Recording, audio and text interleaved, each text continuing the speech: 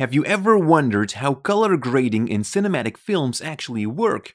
How you can go from this shot to this? Well, let's take a look at the very, very basics on how to accomplish this, but also understand of what's going on here.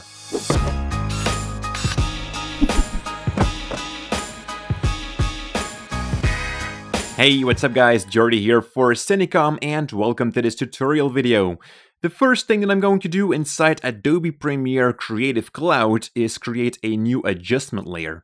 And I can do that with this button right here, which says New Item in the project panel and just say New Adjustment Layer, like that guys. That will bring up a pop-up box, just press OK. And it's being added to the project panel and I'm going to drag that above my clip in the timeline. And also I'm going to make this the same length as my clip below that, guys. Now what I'm going to do is I'm going to add effects to this layer and those effects will also be visible on the clip itself and that will give me more flexibility when it comes to making adjustments later on. I think that's the reason why it's named adjustment layer. Alright guys, I'm going to select this clip and the first thing that I'm going to do is head over to effects and I'm going to search for the fast color corrector. You can already see it right here. I'm just going to search for it anyways. Fast and I'm just going to scroll up a little bit. There we go. Inside the color correction folder of our video effects, fast color corrector. And I'm just going to drag that over to my adjustment layer like that. Now the first thing that I want to do is lift up the saturation guys. So just scroll down within this effect and just boost up the saturation. That will vivid the colors way more. Now guys, this step here really depends on what type of shot that you have.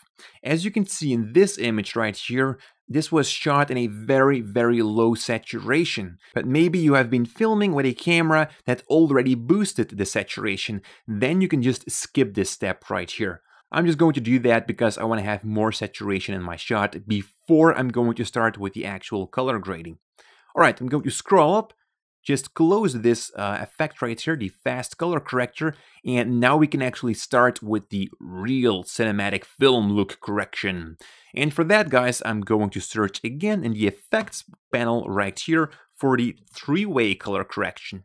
Right here guys, the three-way color corrector, I'm sorry just going to drag that over to my adjustment layer like that. And this is the tool that is going to make the magic happen. Alright, I'm going to scroll down guys, and the first thing that we can see are these three wheels over here. Now what are they for? Well, the first one here is for the shadows. I'm going to pump some blue into the shadows, and let's take a look at what happens in the image. Like that. Now we can assign a color with that, and with the yellow little bar right here, we can increase the saturation even more from that color. So I'm just going to increase that to the maximum, like that guys.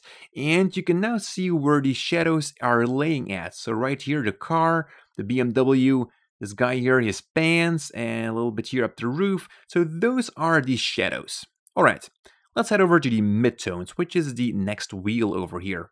I'm going to add some green in there. Also here I'm going to increase the saturation so that you can clearly see where the midtones are at. Alright, so here are the midtones, basically the roof up here, the guy who is walking over there, etc. And then finally guys are the highlights, which is right here. Now, these are the white areas within your video clip. I'm just also going to assign a color to here. Let's make it a little bit pink, like that guys. And now you can see where the highlights are laying at. Alright guys, now there's one problem that we see right here that we have to fix first before we can start the actual grading. And that is the range of each level here. The shadows really stop very abrupt right here. The same thing goes for the midtones and the highlights. So that means when we are going to add a color in one of these channels, we are going to see where it actually ends over here at the shadows and the highlights over here, guys. So the first thing that we want to do is make sure that these two channels actually feather a little bit over each other so that it's not so obvious that this right here is the shadows, the green is the midtones, and the pink areas are the highlights. So I'm going to scroll down for that, and over here we can find the tonal range definition, and that's the place where we can change this, guys. Over here we can find the input for the highlights. And when I'm going to increase this bar right here, I'm going to change that feathering. So I'm just going to move that to the left and take a look at what the image does, guys. As you can see, the highlights and the midtones are now a little bit over each other, and that's what we need, guys. And the same thing goes for the midtones over to the shadows. So I'm also going to increase that and take a look at this area right here, guys. Something very interesting is going on here. Look at that. Now this looks a lot better, guys. Now we can work way better on the grading itself. Alright guys, I'm going to scroll back up and I'm going to reset all these colors because of course this isn't really looking cinematic. So I'm just going to reset the shadows, midtones and highlights like that. Now guys, what we want to do is add some contrast into our clip because that's the thing what makes those Hollywood films look so great, the contrast. Now of course we can't add too much contrast into it because we still want to see what kind of car that is. But let's start with that, guys. I'm going to scroll down a little bit again, and over here we can find the input levels and the output levels. That means for the black right here, when I'm going to increase that, I'm going to add more blacks to the blacks. There we go. And when I'm going to use the output levels, I'm going to remove some shadows from the blacks. Like that, guys. Now to add contrast, guys, we're going to make the blacks deeper like this, but make sure that you're not doing this too much, guys. We still want to see what's going on here. The same thing for the highlights. Just going to increase the highlights like that. Again, make sure that it's not too much. We are already blown out here, so I'm not going to add too much of that. So I'm going to already stop right here. This is enough contrast for this shot. But, you know, still not enough for this Hollywood film that we're trying to create.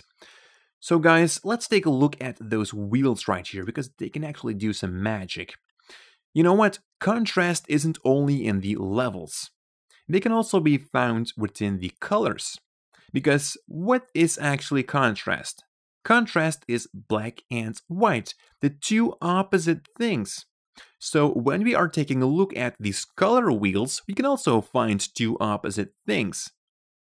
The blues over here and the yellows over there, or the greens over here and the pinks over there.